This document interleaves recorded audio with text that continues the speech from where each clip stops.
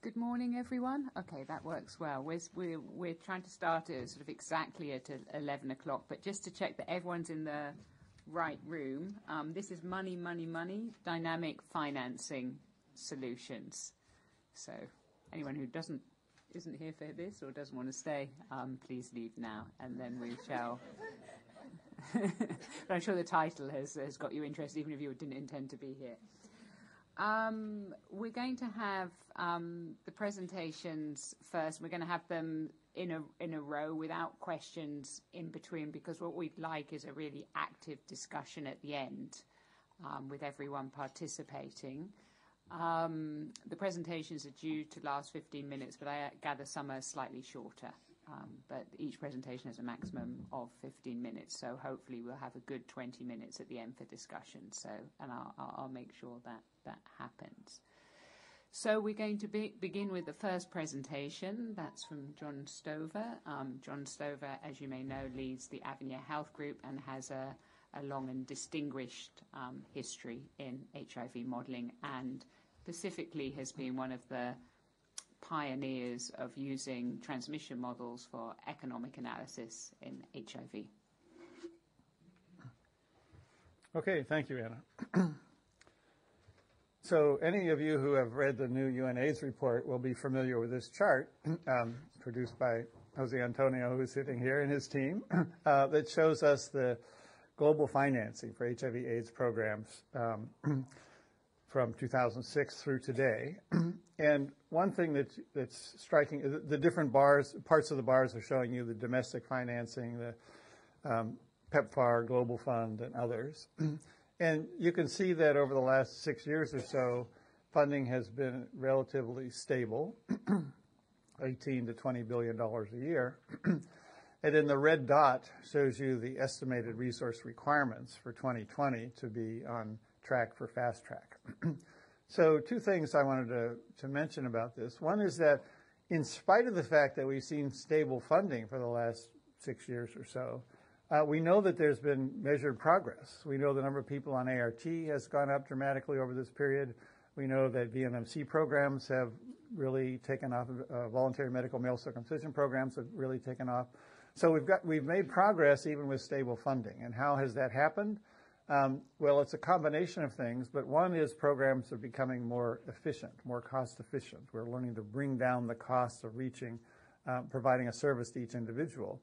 Um, Also, some of it has been due to reallocation of money away from lower priority programs to higher priority programs. So you might not be happy with that if you're working in what was decided to be a low priority program.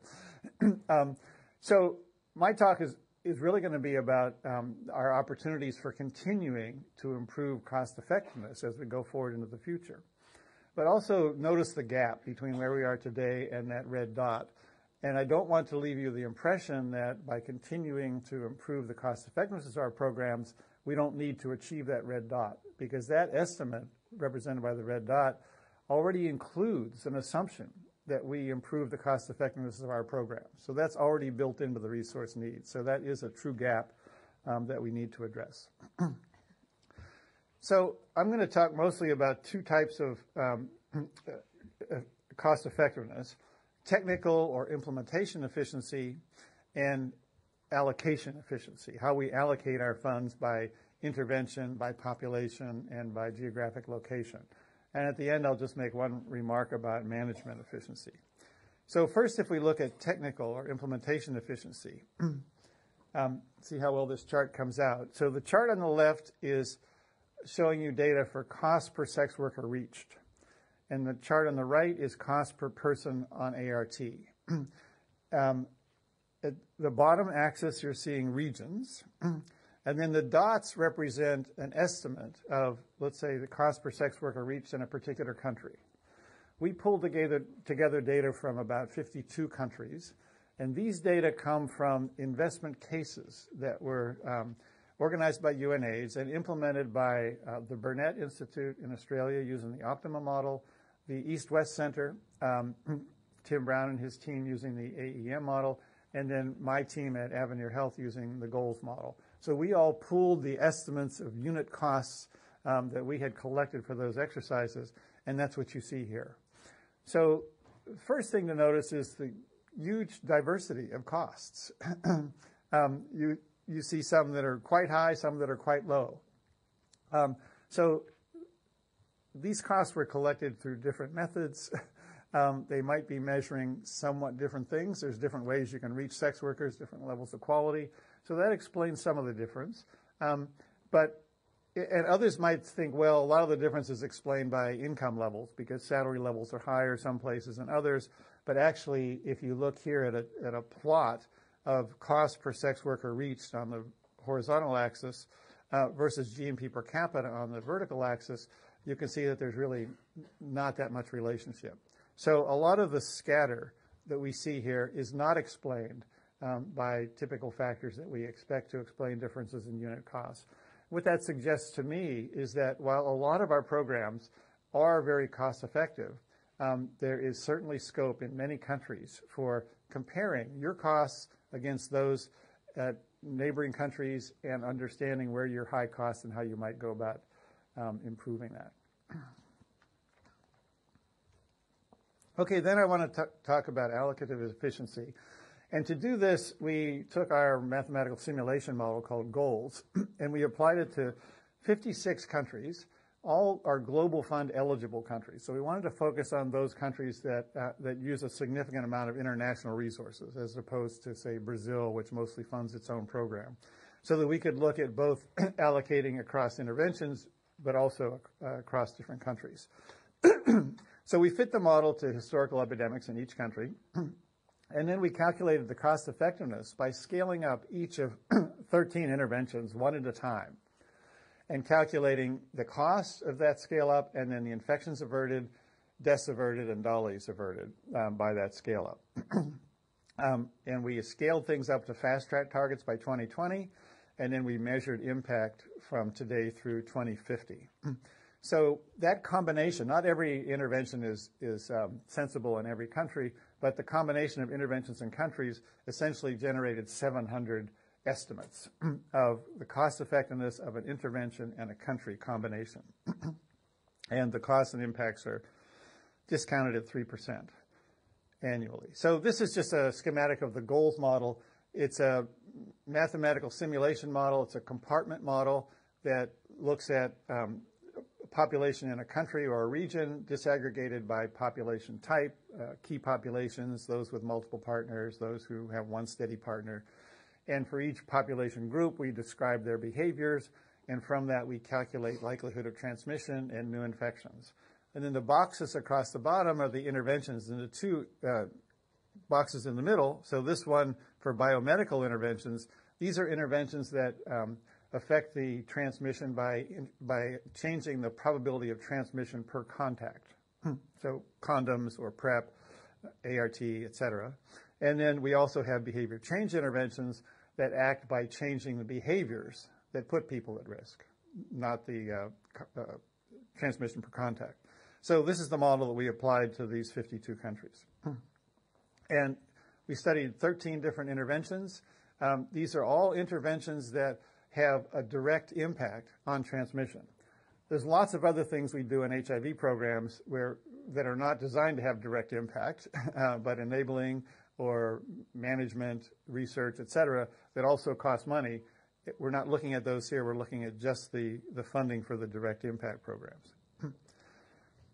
okay, so hopefully you can get a sense of what this, um, this chart looks like each across the bottom, we have the different interventions. So there's ART is the first uh, set of dots, and then behavior change communication, condoms, MSM program, outreach to MSM, opioid substitution therapy, PrEP, programs for people who inject drugs, sex workers, and voluntary medical male circumcision. so each dot is showing you the cost per infection averted. um, and the color of the dot for a particular intervention, and the color of the dot uh, represents the region. So the green dots are for East and Southern Africa, um, the red dots are for Asia Pacific. So what can we learn from this? Um, well, several things. First of all, is every intervention is cost effective somewhere. um, there's a huge variation again, and some of this variation comes from the variation of unit costs that we've already seen. Some of it comes from variation in the epidemic context in which these are implemented, and others come from the efficiency and the, and the selection of interventions. um, when we look across all of these, we can see some that are consistently cost effective. Condom programs, um, OST, outreach to sex workers, voluntary medical male circumcision consistently come out um, in almost all settings as very cost effective programs. so ART is on this list. Even though we're looking at cost per infection averted, we re- recognize that ART uh, has other benefits in terms of averting mortality. And when we do this in terms of cost per death averted, you know, ART gets selected everywhere. Um, so we're focusing just on infections averted here. Still, ART is, is a cost-effective program, and it also includes PMTCT. PMTCT is not on this list because it's really ART these days, so the effect through PMTCT is also here. And then there's also a star next to East and Southern Africa because um, if you look at the colors of the dots, you can see that the most cost-effective programs, um, uh, there's an abundance of cost-effective programs in East and Southern Africa, this is because incidence is highest in this region, and also costs are relatively low compared to the rest of the world. So, um, so that's why we see that. So now a few charts just to try to make some sense out of all these data points. So in this one, this is a stacked bar. So this, the portions of the bar represent the different interventions. And the first bar on the left shows you the most cost-effective 10% of the interventions. What are they? You can see the distribution. The next bar shows you the, the next most cost-effective 10% and, and all the way up. So one of the points that you can get from this is that the most cost-effective interventions don't require a lot of money. It's much less than 10% of the funds required to implement those interventions, which is a clear signal that, you know, we should be doing those. So if I switch those bars now and make them the distribution, so out of 100% of the money required to implement the best um, cost-effective programs, where do the funds go? And you can see here in the most cost-effective uh, column, it's the it's condoms, female sex worker outreach, OST, and VMMC. And you can see that the condom programs, for example, are almost all um, clustered in the, the first 10, 20, and 30 percent. In other words, those programs are cost effective almost everywhere. Same thing with the VMMC programs. um, we see ART coming in here um, later on and taking a big chunk of the resources, obviously. Um, if I look at the percentage of infections averted by each of these 10% uh, percentiles of uh, infections, you can see this in the dashed line. So the best 10% required only a few percentage of, of the total resource needs, um, but provides about 10% of all the infections averted by implementing everything. So we get good impact from these most cost-effective programs as well. And then finally, um, this same chart, but now instead of showing you by intervention, we're showing you by region, by geographic region. and one point to take away from this is that there are cost-effective buys, cost-effective interventions in all regions. So it's not that we should just send all of our money to Southern Africa. That's not uh, the case at all. There are good buys in every region. um, although um, the resource needs are dominated by East and Southern Africa.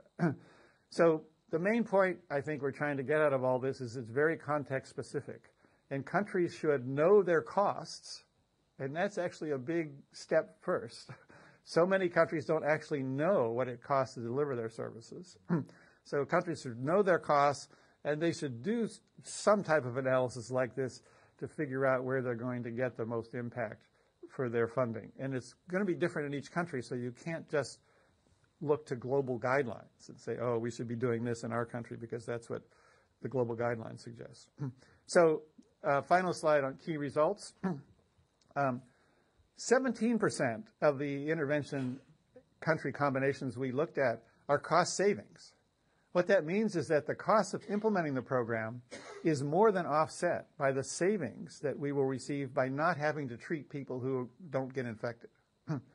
so that happens in the future. You have to take a little longer term view to see the savings, but they are cost savings. So that's that's the great thing, and we certainly ought to be doing those um, those uh, interventions. Most cost effective programs are in East and Southern Africa. I mentioned that already.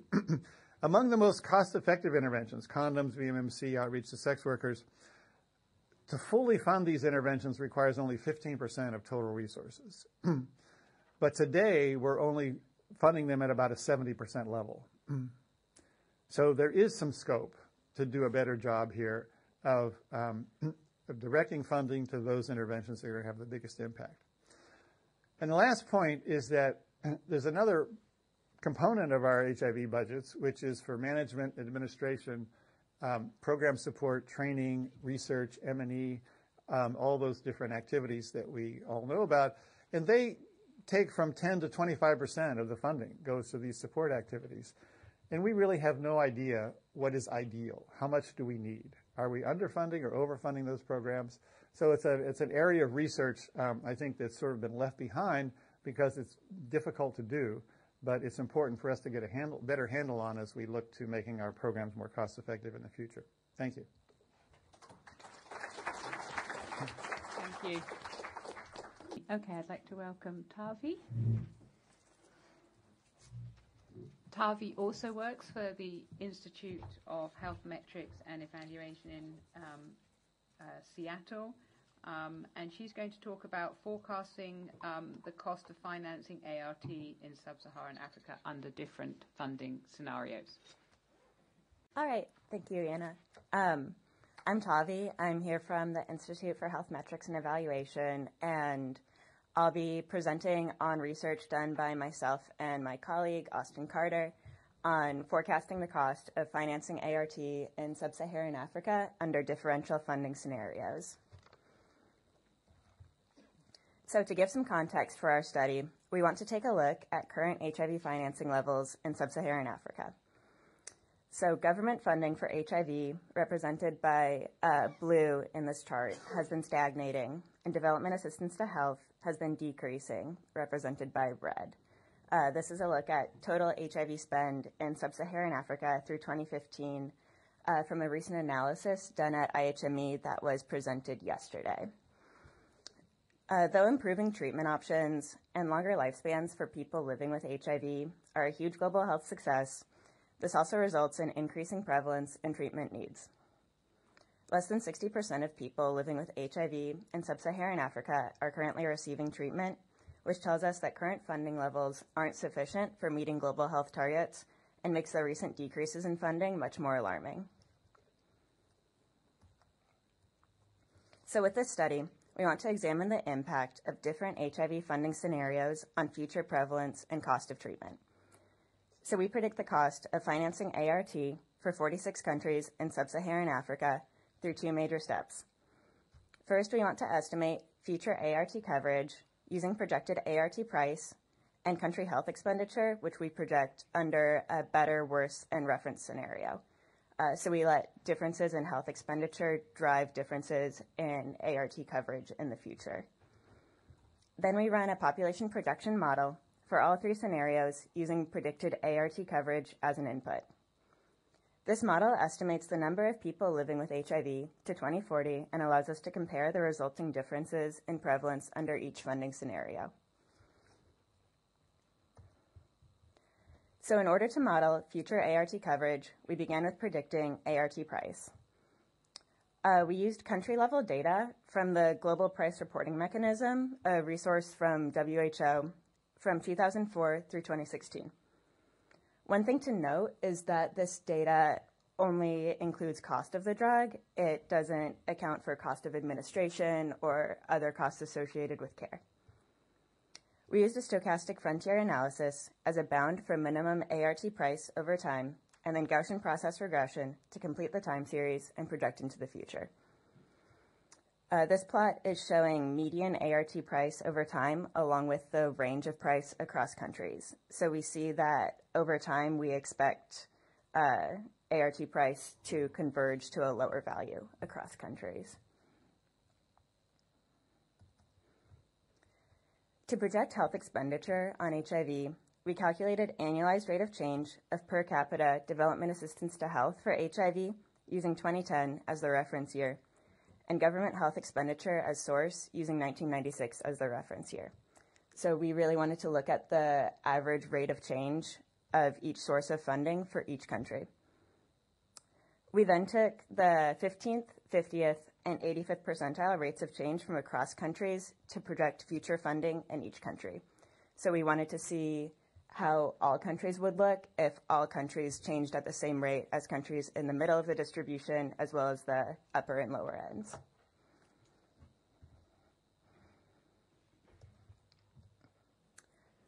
We translate projected government health expenditure and development assistance to health for HIV into a proxy for ART dose equivalents per year by dividing funding by projected ART prices.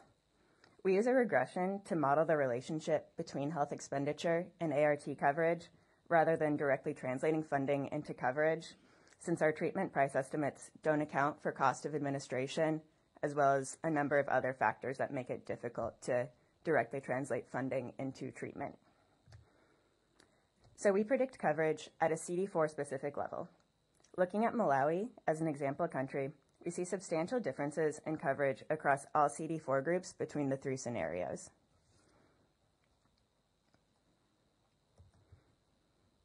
The population projection model that we use takes incidence as an input, so we needed to predict incidence. We propagate the impact of differential HIV spending in our uh, population production model, both through ART coverage along with the effects of improved coverage on uh, incidence. So we project the counterfactual trend in incidence using the same rate of change approach that we used for health spending. So we want to calculate what the secular trend in incidence is uh, in the absence of ART in the past, and then project that into the future using the 50th, 85th, and 15th percentiles from across countries. Um, and then we account for changing ART coverage and our final projected incidence input so that we see declines in incidence with improvements in coverage.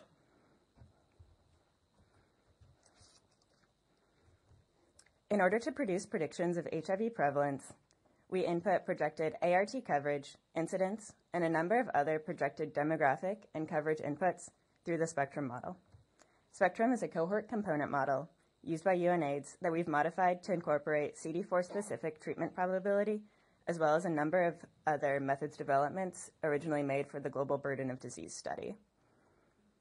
Spectrum ages a population over time using demographic parameters while applying HIV incidence, disease progression, and mortality. So taking a look at our Malawi example, in the reference scenario, incidence rates were projected to uh, modestly decline, while prevalence rate was predicted to decline in all but the worst scenario.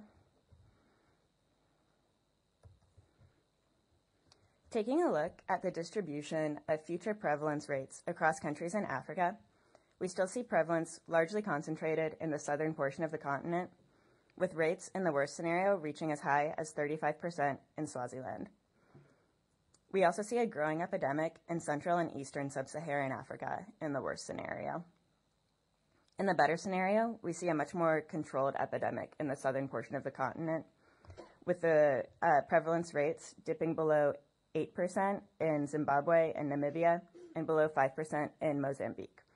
And the highest prevalence rate in the better scenario was uh, in Swaziland at 13%.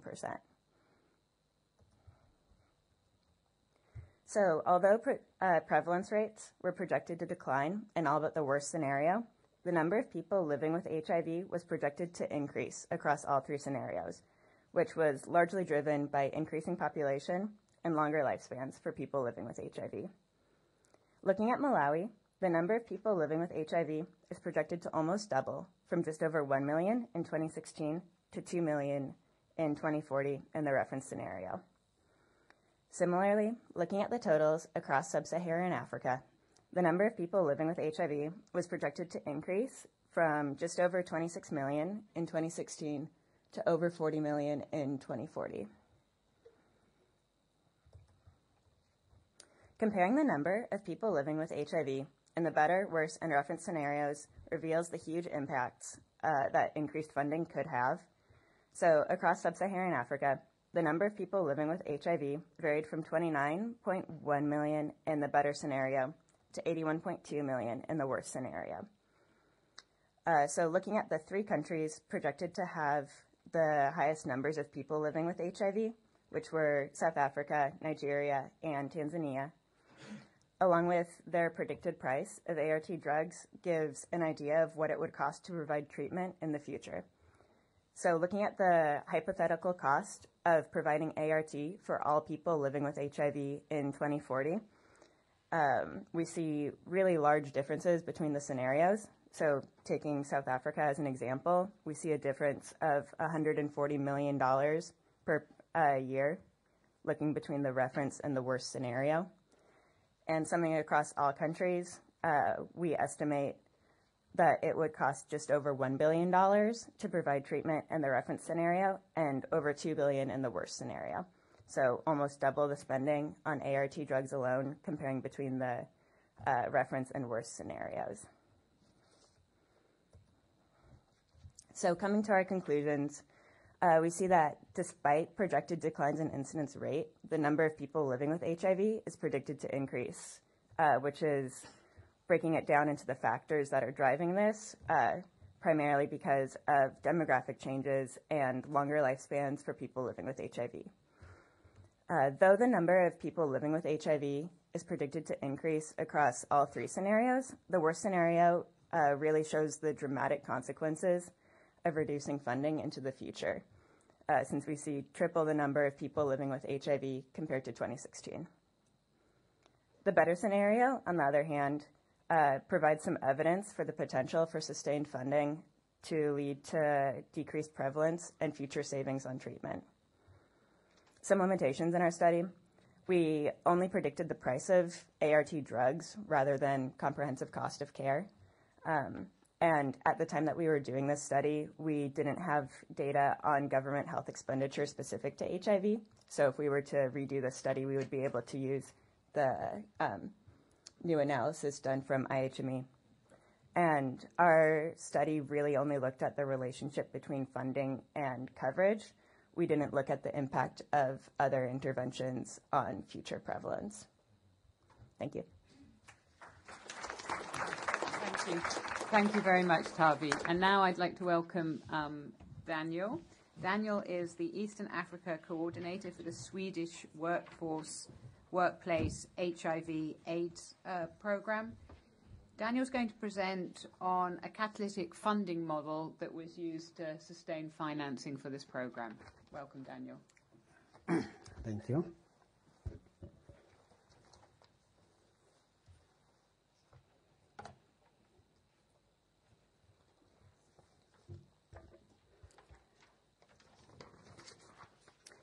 Okay, today we are talking about dynamic financing solutions.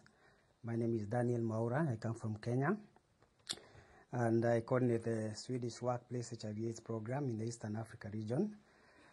Uh, I'm going to focus on the aspect of funding within the model of the program that we have not only in Eastern Africa, but also in the 11 sub-Saharan African countries where we operate.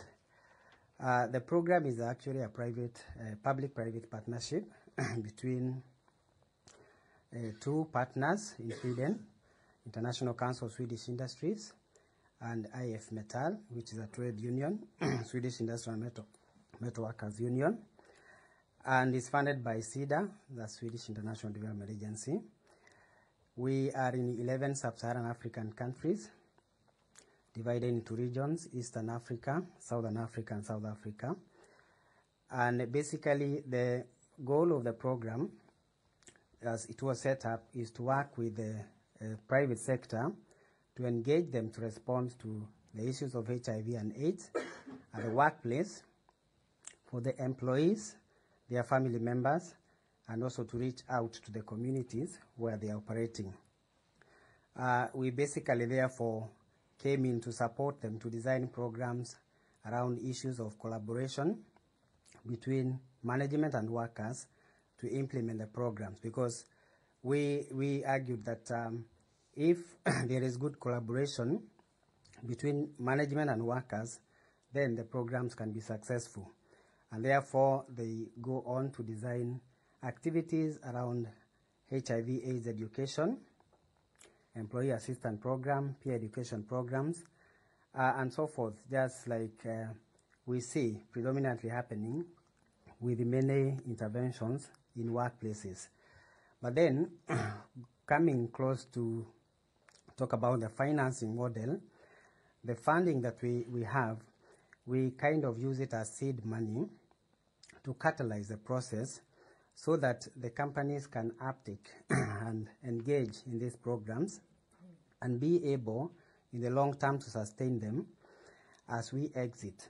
And therefore, we come in starting on a high note of a co-funding, and then we reduce the funding with time as the companies increase their funding. And so we take them through cycles, cycles of like, for example, during the first year of implementation, they submit to us uh, their budget for activities, which we co-fund at 60%. The second year we co-fund at 50%. then the third year or third cycle, we co-fund at 40%. And then they are supposed to have increased their funding and be on their own to sustain them. So that even as we exit, therefore, it means they can continue. We also don't kind of don't give them money up front, but we rather give them on reimbursement basis. And therefore, it's, it's possible to track on the actual expenditure that goes into the programs for the specific activities that they plan, and therefore we can only therefore finance the actuals that they spend on their budgets. And so uh, I, I looked at uh, the funding for 2005, 2016, and 2017 within the different uh, lines.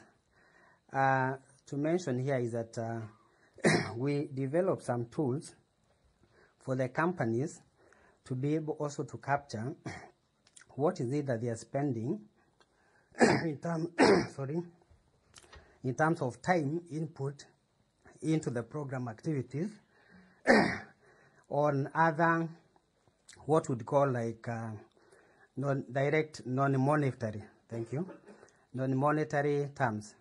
Because then i mean working with private sector everything counts. When they attend activities when they participate that to us also interprets as time input that can be translated into monetary terms and so we came up with tools to be able also to capture that and so we also have been documenting that. And I looked at what is the overall investment that is coming from the companies against what we have been investing.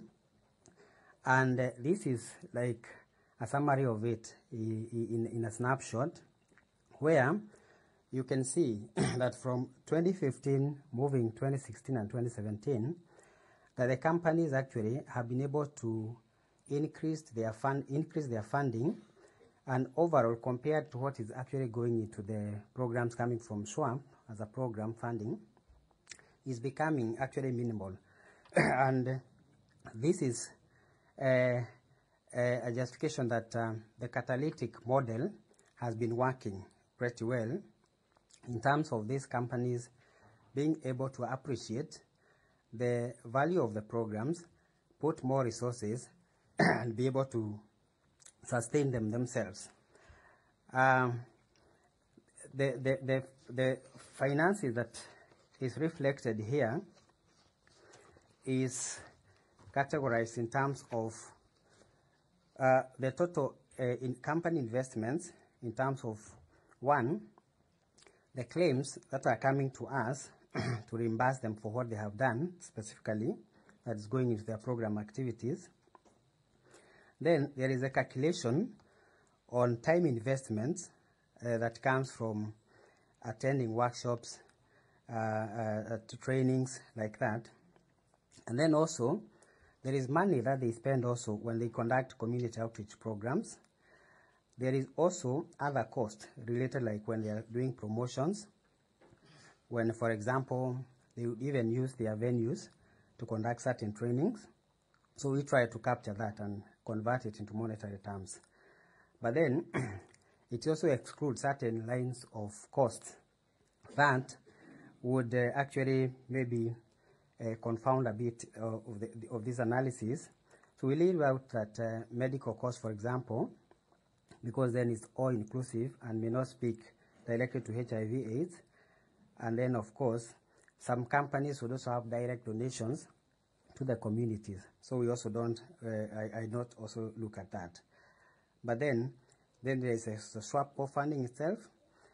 And of course, uh, there is variation over the years because companies may start the co-funding and move within the cycles without generally completing the cycles annually. And therefore, a company may start a cycle this particular year, lag a bit based on maybe probably have some challenges, and then carry on into the second year.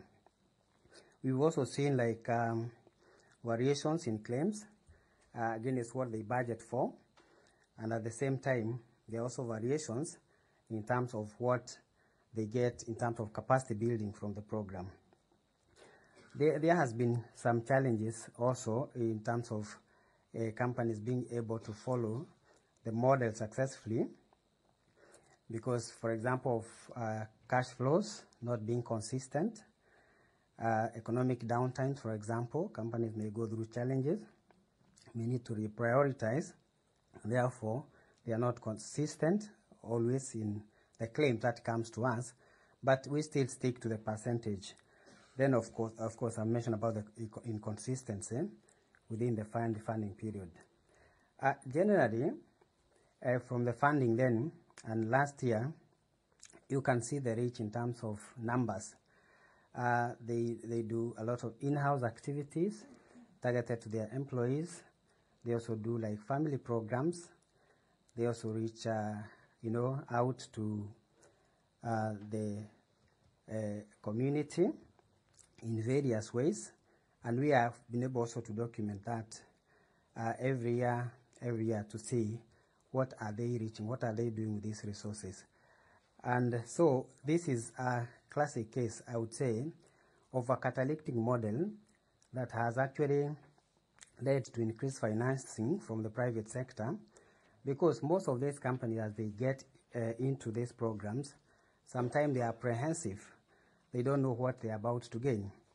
But with time, they appreciate, and when they start registering returns, then they are able to commit and continue. Uh, in the absence of the challenges mentioned, we have seen quite very good consistency with some companies that have gone through the cycles. They can quantify what they have achieved. And just recently, there has been a study to look at return on investment, sampling some companies from South Africa uh, with Karolinska Institute. And uh, you can see that they have been able to quantify that there is a return on investment of 44.8% of investing in, in these programs. So, and besides that is a whole uh, host of lessons that comes out of the program in terms of being able to reach to family members, community, the private sector contributing to what the existing national frameworks of response, uh, improved uh, workers management relationships, and also being able to inf influence the general working environment. Uh, it's an effective mentorship model because then we encourage them that once they exhaust their finding cycles with us, that they should also be, become mentors of others. They should reach out to their supply chain and also help them to see the good side of implementing and to catalyze, to also catalyze them. Uh, so as a way forward then is to spread the experience, to inspire others through mentorship programs, dissemination forums like these ones, but also we want to see if what we, we have been doing can also inspire the informal sector, probably through the main of uh, formal companies being able to reach to the informal sector. It's a good advocacy tool when we can be able to quantify the returns on investment, but also that there can be increased uh, private sector funding and sustainability of the programs. The model is also useful because it's a, an infrastructure that can also be used to even do other programs in, in line with SDGs because then it's a big network. They learn from each other, they challenge each other, and they always want to be the best in their programming. So thank you very much. Thank you, Daniel.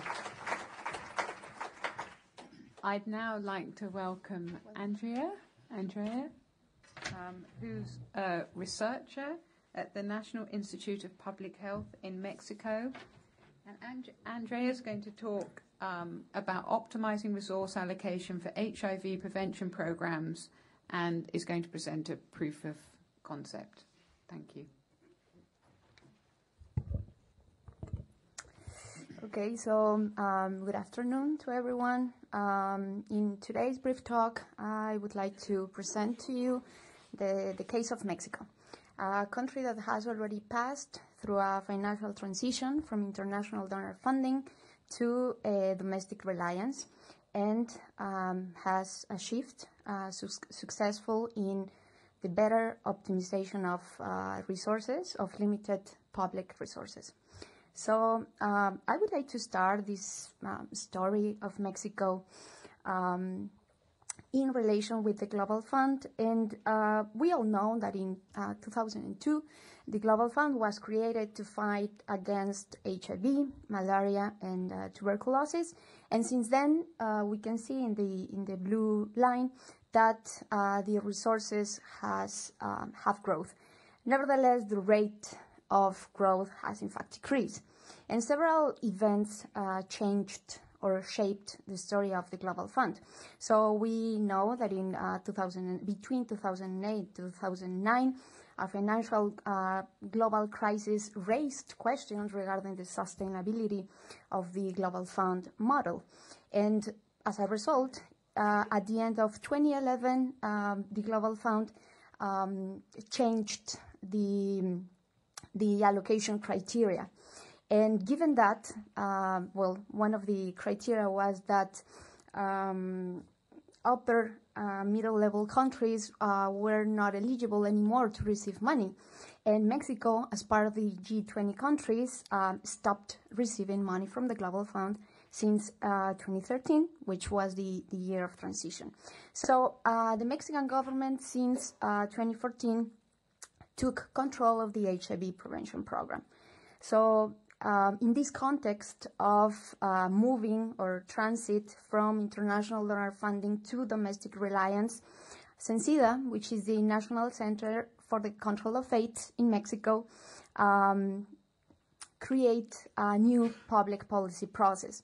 And what, uh, what we can see in this uh, graphic is, or what I would like to highlight, is the policy design that CENSIDA took into account. Designing a policy instrument, basically, which consists of uh, a public call, a public invitation for CSO, civil society organizations, to propose HIV prevention um, projects to be funded. And CENSIDA um, has the freedom to list the main specifications and requirements that these uh, projects should have in order to be funded. Um, regarding the implementations before and after the transition, uh, the implementation um, has been done by CSOs, by civil society organizations. It's, it's a quite important point. And um, the, the evaluation, it's um, exactly the, the part of the process where a research team took a major role because since the transition, this program uh, hasn't been evaluated. So in order to do so, our team uh, took into account or adopted um, um, a, a, framework that proposes this. This framework was proposed in uh, 2008 and proposed that the level of efficiency should take into account simultaneously um, three dimensions the cost effectiveness, the targeting, and the technical efficiency. And for um, uh, for our purpose, we defined cost effectiveness. So we said, well, if we have limited resources, which interventions should be prioritized uh, given their their their their best benefits at their lowest at their lowest cost. Uh, sorry. And then for targeting, uh, we defined two subcategories, which one was to who and where. So to who basically is which key populations are most at risk, and then targeting if we could identify geographical zones uh, with uh, with highest burdens. And then technical efficiency basically deals with the best use of resources. So um, providing HIV prevention interventions, you would like to take the most out of resources. So as an evaluation, as it is, we define two indicators. So one is what we call the benchmark, uh, which basically is what it should be, and an observed indicator that depicts what is really happening. Um, then in the following slides, in the following minutes, I'm going to take some time to, to show you the results from this evaluation uh, of the Mexican case. So the results in the dimension of cost effectiveness. So here we can see um, the most cost effective interventions ranked um, uh, according to their their cost effectiveness. And this is for concentrated epidemic contexts, such as the Mexican case. And we can see in the, in the other side the interventions that were provided in Mexico during 2015-2016, uh, we can see that behavioral interventions were the most uh, provided, and in second place, uh, testing and counseling. And then for targeting, in the first category, we have um, to who, okay, so which key populations. And in order to do so, our benchmark was defined by two indicators, the HIV prevalence and the size of population as a proxy of the potential people to be infected for HIV. And the observed indicator um, was the, the people actually reached. So for the case of Mexico, uh, there are three key populations that were receiving less funds than it should be transgender and transsexual people, MSM, and general population. And then for the geographical targeting, here we have a nice map of Mexico. And the darker colors uh, depict the, the highest HIV incidence rate. So we can see that in Mexico, it's quite concentrated in the um, Yucatan Peninsula. And as a proxy of the attention, uh, here we can see a map uh, of Mexico um, of any kind of intervention, so the number of interventions of any kind. And we basically, we can see that the, the color doesn't correspond. So darker colors uh, in the HIV prevalence doesn't correspond with the lighter colors that we can see in the Yucatan Peninsula. And uh, this, um, it's quite important in Mexico. It's the, the interventions are more uh, focused in Mexico City, Jalisco, and Nuevo León, which has, which are the biggest states. And then uh, finally, for the technical efficiency, we used a pretty uh, descriptive um, approach. So basically, we split the sample, uh, the sample into quartiles of uh, coverage. So we control for the level of service scale, and we defined our benchmark is basically the 25 percentile of the average cost cost distribution. And um, we can see that it's quite conservative. We could use the minimum cost but uh, we decided to define this benchmark, this most efficient observation as the 25 percentile. And then the observed indicator is a weighted average cost for the sample above that. So we can, so we have the most um, efficient and the inefficient. And then um, graphically, if we calculate the difference between the benchmark and the observed indicator, we can see the potential savings um, that is a proxy of uh, the inefficiency that are occurring. And in this case, for the HTC, for HIV um, counseling and testing, it ranges between 60 and 40 percent. For the rest of the interventions um, identified, it ranges also between uh, 40 uh, 70 percent. And then uh, finally, so the first discussion would be what are the principles uh, findings? Well, um, we can see uh, that most of the interventions are provided were not the most cost effective. Um, that populations that are at the at most of risks uh, at risk uh, uh, didn't receive the proportional amount of funding. That um, the program or the policy instrument um, does not focus on the geographical regions, and um, as we showed, uh, as I showed in the later slides, um, there, there is evidence of technical inefficiency. So what happened in Mexico with these findings? So we communicate um, these results to the, to the stakeholders, and they, and they decided to redesign um, the policy instrument that is um, that that this policy instrument is uh, implemented on a yearly basis. So it was used to redefine and tune up uh, in 2017 and 2018. But uh, what I would like to um, uh, well, to take more time to talk about, it's what we can learn from the Mexican experience. So we know that it's uh, it's a country that has already passed through a financial transition, and the Mexican government um, designed a policy instrument. Uh, and this policy instrument um, really has the the, uh, the capacity to facilitate, as we saw, the economic uh, sustainability by by uh, also also an operational sustainability that deals um, more with the effective management of the CSOs, uh, to the capacity to of the CBOs to implement interventions, to work with groups, or to go to different geographic areas, and also mechanisms to create and enhance um, capacity among those CSOs. Um, another thing that show us it's that it's um, a policy instrument that it's quite transparent because the um, CENSIDA, the the national center, um, displays the main requirements in an official document, so the CSOs uh, knows exactly what are going to be the requirements each year. It's quite uh, competitive because it incentivizes CSOs um, looking for funding. And finally, um, this this scheme um, permits or allows um, the generation of quite quality information um, to make strategic decisions on a yearly basis. So um, it could be this is quite important to uh, direct and to redirect response to the uh, HIV uh, fight. So thank you so much.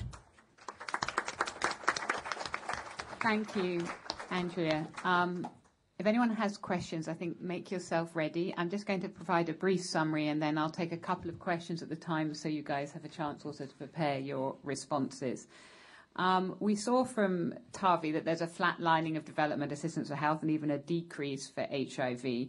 Um, Annie showed us that there actually is potential space going forward, and she was using a method, one of many methods, but probably quite a conservative method of making this estimate compared to other methods which are kind of fiscal space um, methods. So in, in some sense, even though funds is going down, there seems to be a potential from domestic financing. Um, TAVI also showed us the consequences of not realizing this financing in terms of future consequence in terms of the numbers of people needing ART if we accept that everyone needs ART. And I know there's other work that looks at that consequence in terms of fiscal liabilities and say once we've made that commitment, that's a substantial fiscal liability. Um, Daniel showed us a nice example of how to sort of tap into alternative sources of financing, particularly private sector financing. And Andrea showed us about how countries can deal with this transition if they're transitioning out of um, development assistance for health. Um, three of the presentations dealt with technical efficiency and the costs of delivering different services.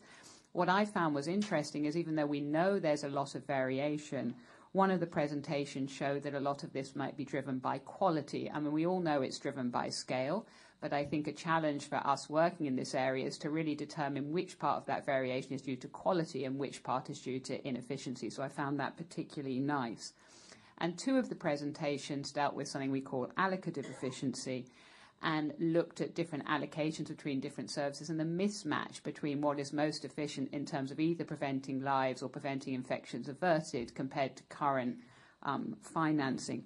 What was quite interesting to me in, in those two presentations, the first presentation didn't really use a metric. It was looking very much within HIV programs, whereas the second presentation from Mexico looked at a metric called cost per QALY now, the cost per QALY metric, for those who are less familiar with this area, is something that we can use to compare to other disease areas. So I think, you know, allocative efficiency is not just within HIV programs, but is about the value compared to other investments as well.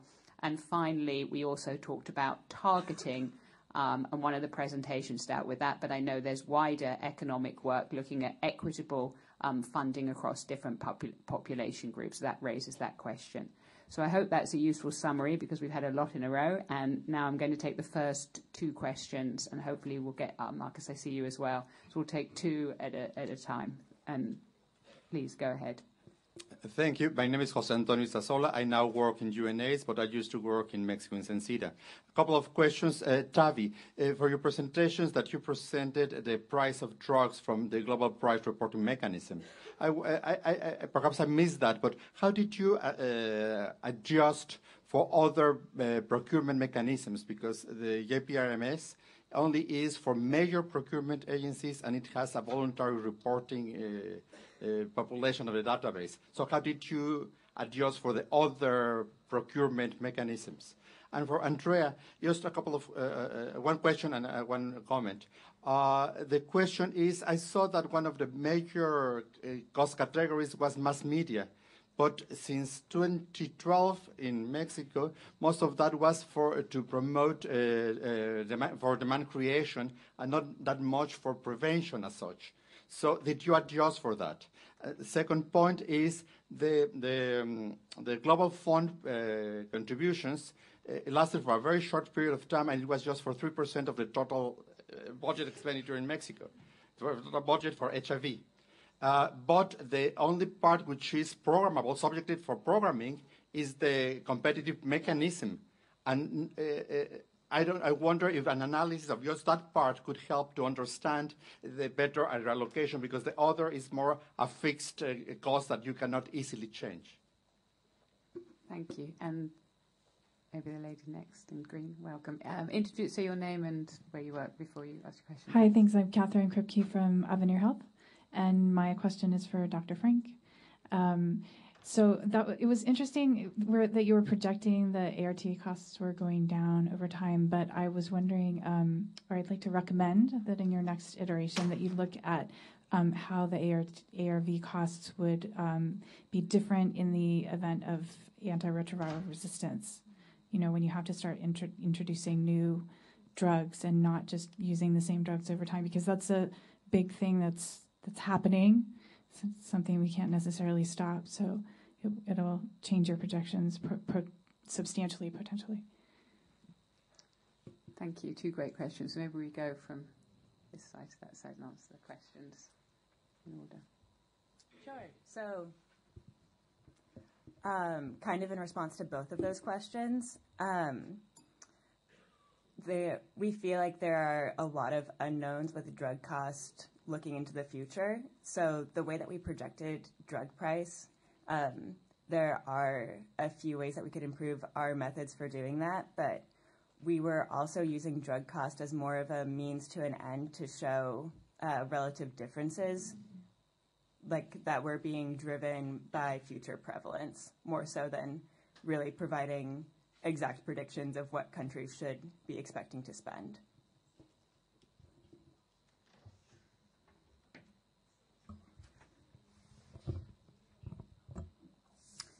Um, so for the first question, uh, no, we didn't adjust the uh, to take into account those um, figures. And the second, um, I don't know if I understand correctly, but it was uh, that Mexico was still receiving resol- um, money from the Global Fund. Uh, yes, yes, please. On the microphone, please. No. Uh, at the time that Mexico was a recipient from the Global Fund, it was just 2% of the total HIV expenditures. So it was a small amount. But the most, uh, where you can, uh, after the Global Fund was made Mexico not, not, eligible, the main set of activities which are subject to be programmed, therefore allocate money more efficiently, is the annual competition for civil society organizations for subsidies. So uh, in that part, it, it, it, if your analysis included only that part, because what I saw, one of cat the categories was mass media, and the mass media doesn't come from the same funding source. So okay. you are combining two different types of, of, of elements. Yeah, great. And the mass media was mainly to, uh, for, to promote uh, service demand Okay, great. Uh, understood. So um, no, it was uh, this evaluation. It's from uh, 2015 to 2016. So that is before. Um, I mean after. Yeah. So doesn't have it. Okay, thank you. Does anyone else want to respond to any of those questions in any way? And then we'll move on to the other two. Okay, great. Marcus first. Okay. One comment to uh, Tavi, one to John. Tavi, I agree with Anna that uh, what I take from your presentation is uh, first the results on the consequence of shortfalls in funding in terms of health outcomes, and second, that these uh, reductions in funding are ultimately self-defeating because of the build-up in treatment needs. And I think your your paper would benefit from conveying that storyline more consistently, including in the title, which is somewhere somewhat about the costs of financing under different funding scenarios, which does not really convey well what the paper is about. Um, one comment to John, working uh, on the Namibia investment case, uh, including applying this GOALS analysis with one of your colleagues. Uh, one of one of the results that we found was that by far the most important intervention in terms of attaining HIV prevention targets and driving the costs of the HIV program was bringing down viral uh, suppression and uh, transmission uh, rates on treatment. And in the results in the framework and GOALS that you presented, this is not reflected. You may argue that this is more a matter of technical progress, but still, uh, there are a couple of measures which need to be taken to achieve these outcomes, and they have a direct impact on HIV prevention outcomes. And I'm uh, I'm uh, concerned that this unit cost enabled and driven analysis that you are presenting is missing the point on this central aspect of achieving positive program outcomes. Thank you. Okay, maybe I'll take the answers. That uh, John first, and then Tavi, I think.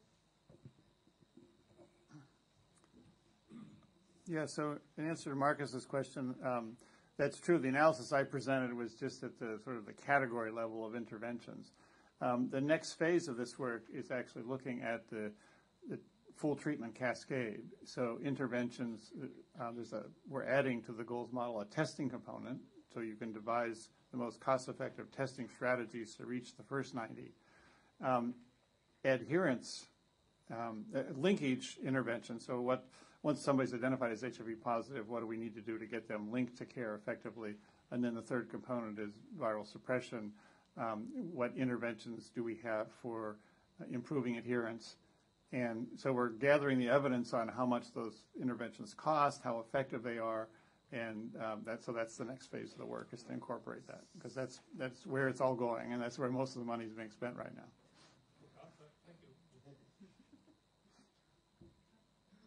Uh, that's a very good point. Um, I think that the ultimate takeaways from our study, uh, we want to put more focus on the impact of, of different spending on health outcomes, like you said.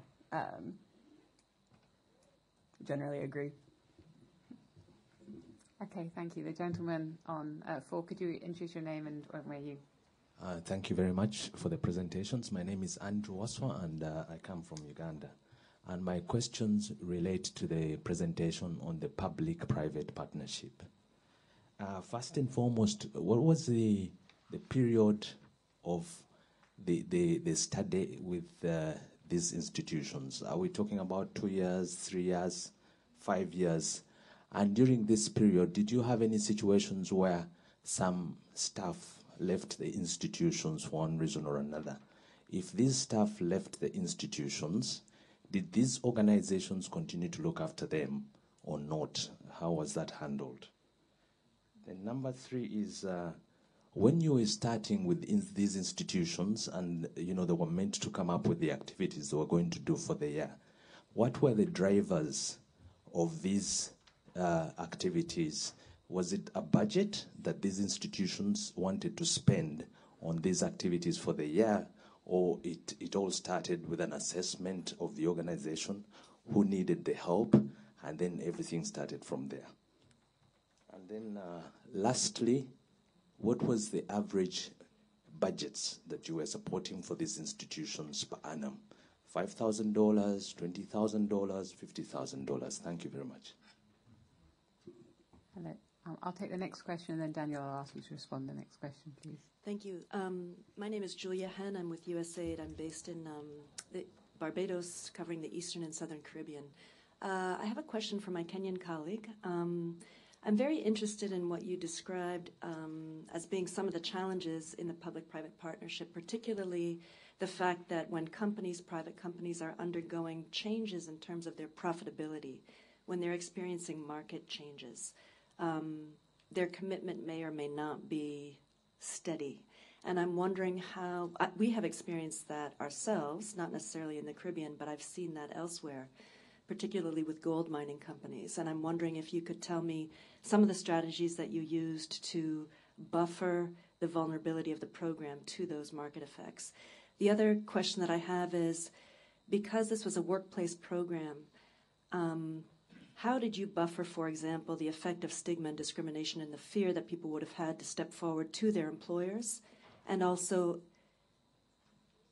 how did you address the issue of, of key populations within those programs? Um, or was simply because those folks face additional layers of, uh, of stigma and discrimination? Thank you. Thank you. Daniel, you have lots of questions. thank you. Uh, thank you very much. I'll respond to the questions. Now, number one, on the issue of the study period, the data I was looking at because of the context of this presentation was 2015, 2016, and 2017, looking at the financing bit of it. Eh? But then the, the learnings and the lessons, they range from the beginning of the program, way back in 2004, up to uh, up to now. The program has been there since 2004 until it is uh, till now, and it's going on. Um, yes, of course, there there there is always like uh, employees who would join and leave the companies.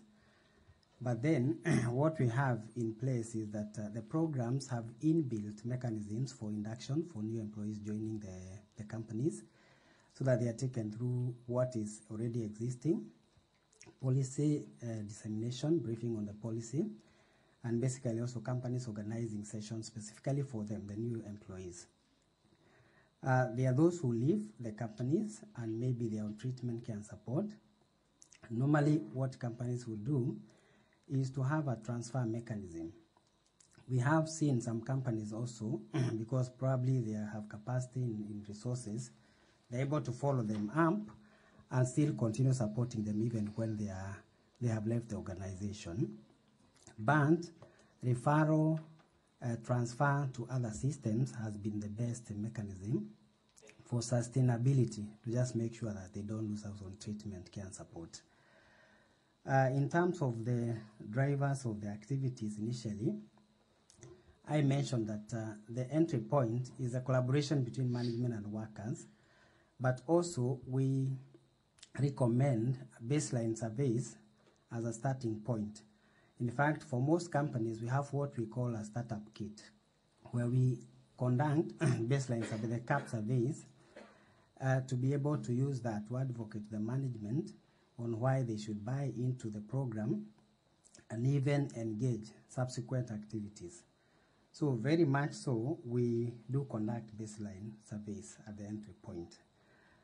Uh, in terms of average budget, we the funding we have uh, overall, we've had like annually a budget of around 12 million Swedish krona.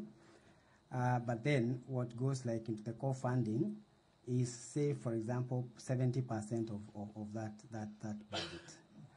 Because of course then the companies I mentioned absorptive capacity may differ they may not necessarily claim what they, they committed to, to implementation because of different reasons.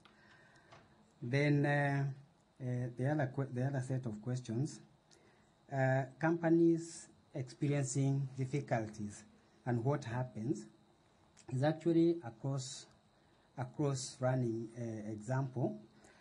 Uh, it happens across the board. Uh, but what we have done or even seen working best is capacitating the, the respective committees in the different workplaces to, to take charge of their programs and even to continue with the uh, activities uh, where the companies are not able to, to commit equal finances where they experience difficulties. We have a couple of good examples where companies went through difficulties and even uh, changes that uh, really laid off employees. But then, because we had steering committees there, they were still able to continue with activities, internal activities, coordination. The peer educators who were capacitated were able also to continue uh, with activities at the companies. So to us, building capacity around the steering committees, the peer educators, has an element of a low-cost uh, way of sustaining those programs.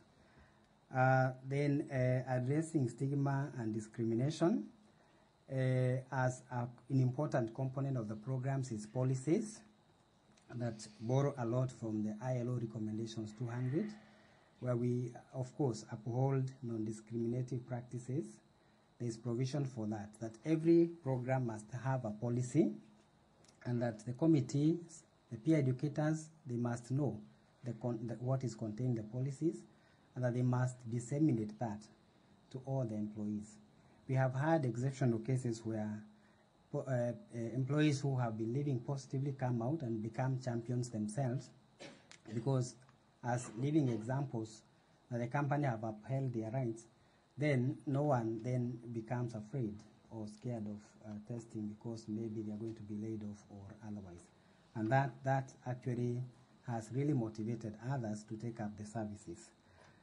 Uh, so uh, then by extension, uh, companies have also gone to the community, reaching to key populations where they put them together, group them together, conduct uh, activities, uh, education awareness around them, and they also empower them uh, to even, for example, start income generating activities where they have not had before. And so there are different examples coming from different countries and regions. Thank you. Very clear and comprehensive answer. Okay, uh, Doug, if you could introduce yourself and. Um, thanks, Anna. I'm Doug Webb from UN Development Program in New York. Um, Thank you, panelists. Very interesting.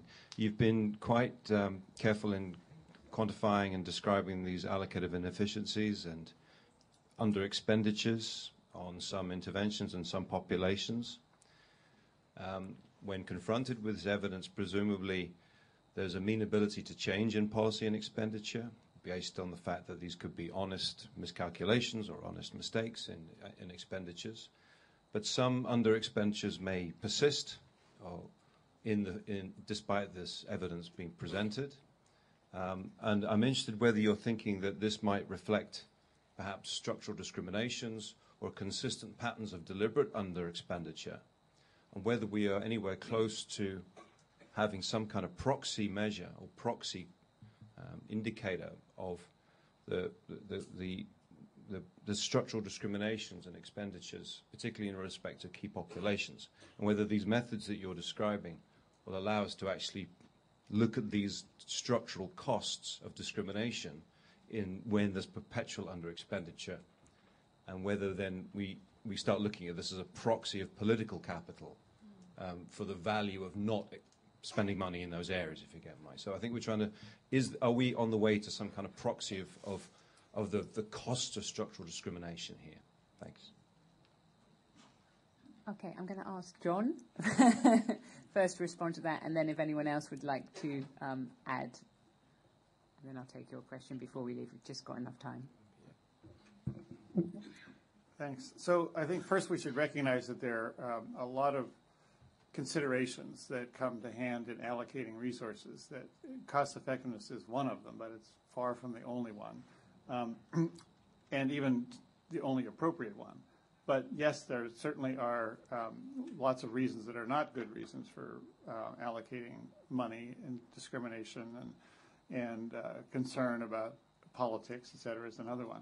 So yes, we can. We, in fact, we have, um, you know, we run the model with ideal allocation, and then we run the model with current allocation, and we can see the difference. In fact, the Global Fund has, you know, they have a series of key performance indicators to measure their progress that they report onto the board every year.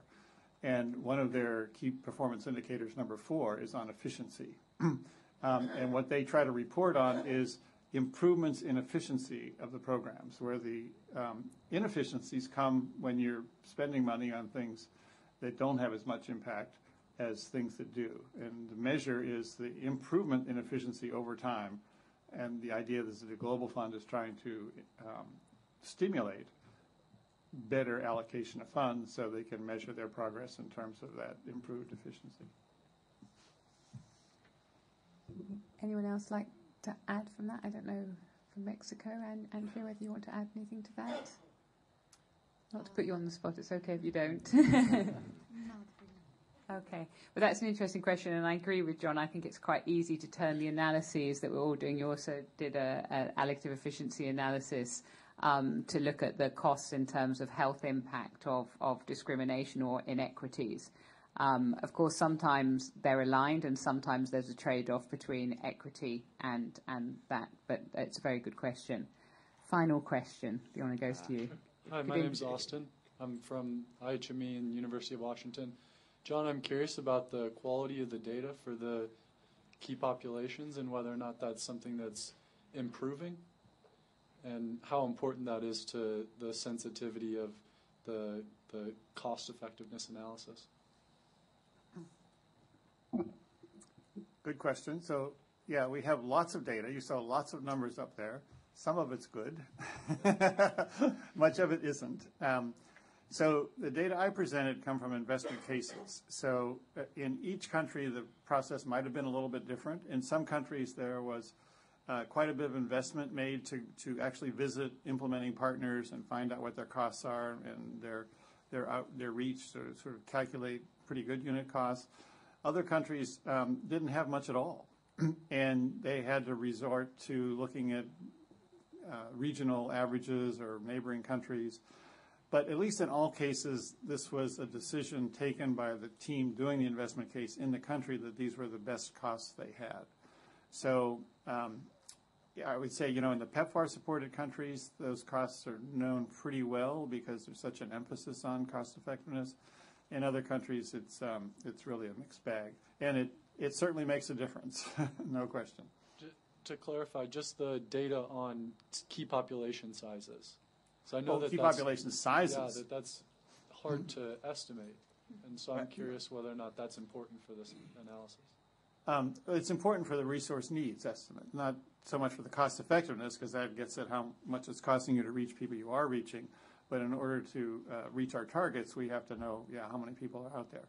Um, So there are a lot of meth- different ways for estimating sizes of key populations. Um, They all um, suffer from, from a problem in that um, both when we measure prevalence and size, we can do it at capital cities or in, in large cities um, and get pretty good information. But then, in order to estimate resource needs, we have to apply it to the whole country. And if three percent of people are are men have sex with men in a capital city, that doesn't necessarily mean we can apply that three percent to the whole country. But it's very difficult to make those same population size estimates for rural populations. So that's a major limitation. Okay, we're almost exactly on time, so we're going to finish now. But I'd like you to join me in thank. Oh, uh, yeah. I just want to check the time because we do want people to leave. Okay, you've got maybe a comment. He- Go on. No, no, no, that's fine. I'll take it up with him after. Okay, I'll thank go you. Thank to you. Thanks. okay, so th- thanks to the presenters. They're great presentations. They're clear answers, keeping to time. It was wonderful. And, and please come up, and I'm sure they'll welcome any additional questions or, or comments. Thank you.